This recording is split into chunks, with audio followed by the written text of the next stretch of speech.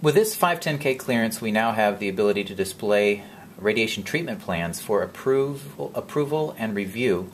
What this means is that a radiation oncologist can now use the iPad to look at the treatment as it's being planned for a patient. In this particular case, we have a patient with tongue cancer, and the colored cloud here represents the radiation that will be delivered to the tumor.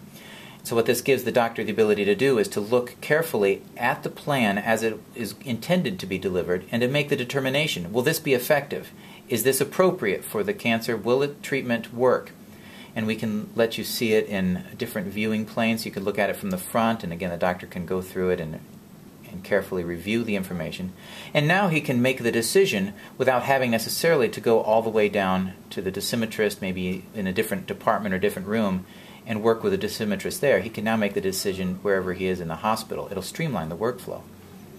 The other clearance that we got for this 510K is for the lungs. Uh, lungs, I said lungs. It's for X-rays. This is a lung case that we're going to look at.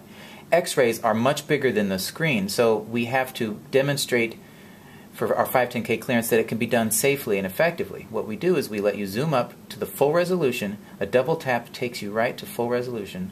And now the doctor has to pan to see the entire x-ray. It's not as efficient as viewing it all at once on a big screen, but it is able to be done. It can be done safely. It just takes a little more time. Again, the idea is that the doctor now has an additional tool. He can use all the tools that he would on a regular workstation, contrast, he can brighten up the contrast, he can dim it, he can zoom in, he can even zoom further if he really wants to look at it closely. We provide all the tools that you would have on a workstation, we just do it on an iPad. And now he has the ability to view images much bigger than an iPad or an iPhone, like this lung case here, which is many thousands of pixels by thousands of pixels.